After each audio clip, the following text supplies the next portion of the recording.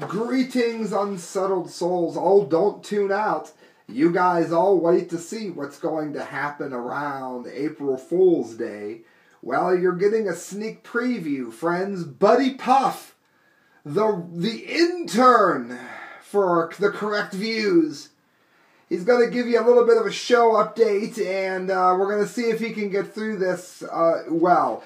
I loaned him my uh, concert t shirt, and I'd like him to address that first. Again, for those of you that don't know what the show does on April the 1st, on Halloween, and on 420, and on Friday the 13th, do not tune out.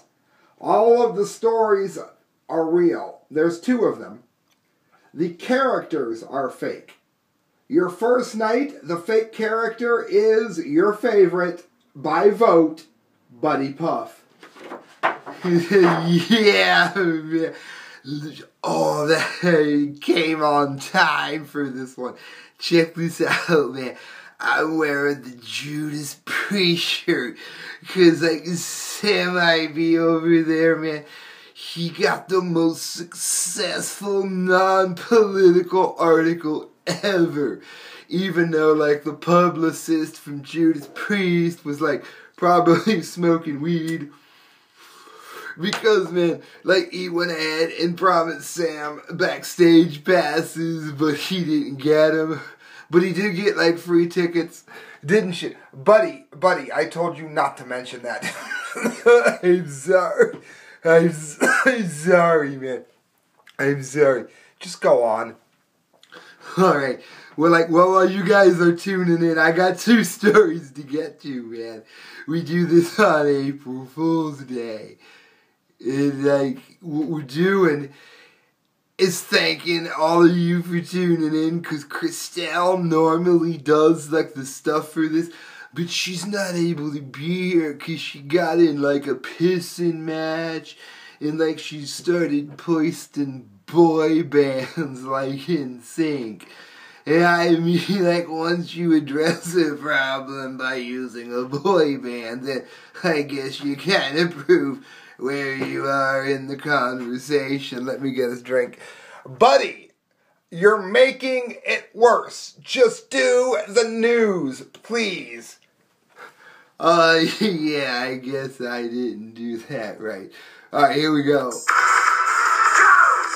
I got everybody tuned in, man, and it's like the correct views.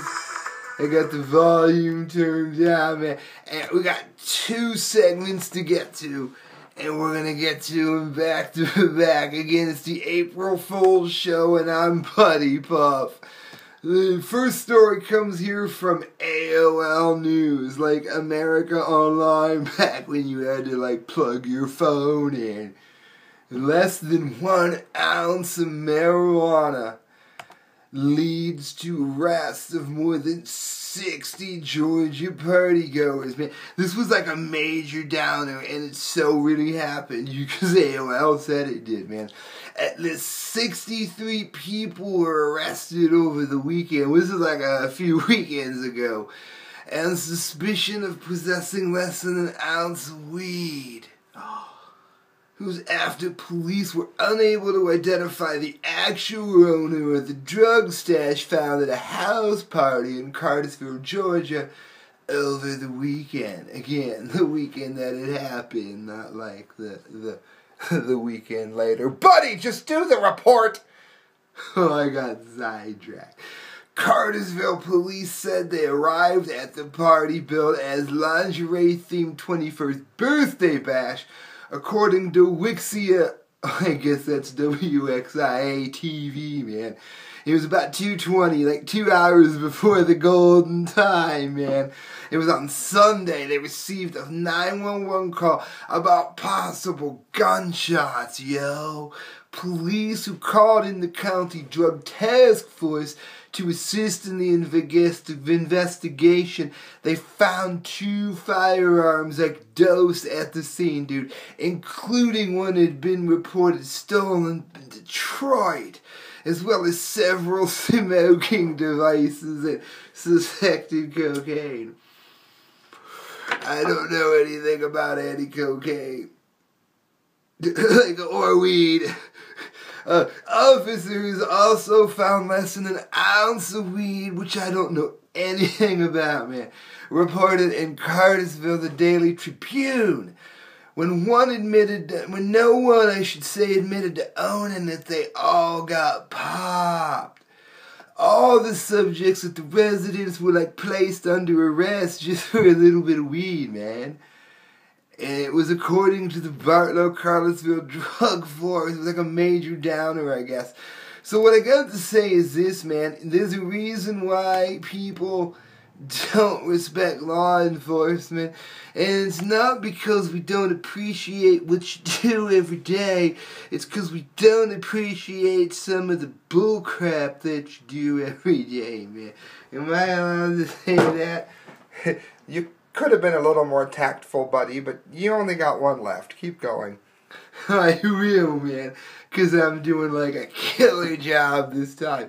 And I can tell because I'm doing Alright, maybe I can't tell. Check, guys, this is from the Smoking Gun. Man force fed goat, cocaine, and booze, according to the cops.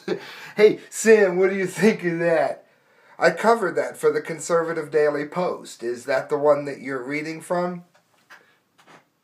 No, man, I messed up. I got this one from the Smoking Gun. I'm not surprised, buddy. You're an idiot. Just do it. Alright, man. I'll do better next time, man. Just, uh, I probably won't. Lied. February 16th, but it's still worth hearing because the guy's like totally mental, man. A horse trainer, man. A horse. Christelle, man. A horse trainer is locked up on felony animal cruelty charge after Georgia cops obtained video showing him force feeding a goat cocaine and whiskey, man. Like the horse didn't get it, but the goat, man, was like all out trip partying here, you know what I mean? Deputies with the Gwinnett County Sheriff's Office yesterday, like when it was yesterday, then arrested Sergio Palamestraguzan. He was like 28 years old, and they caught him at a farm in Grayson where he lives and works, man. Pictured it right, now I'll show you maybe before I log off, man. He's being held in jail on eleven thousand two hundred dollars bond, which like he probably already spent on drugs that he gave the goat, man. However, he's also subject to an immigration and customs enforcement detainer, apparently because he's like an illegal alien buying goats, weed, and stuff, man. And they were mad because he wasn't buying that for like American citizens. I mean, they, they I, I don't think that's what that means, buddy. No, oh, that's what I took from it anyway, man.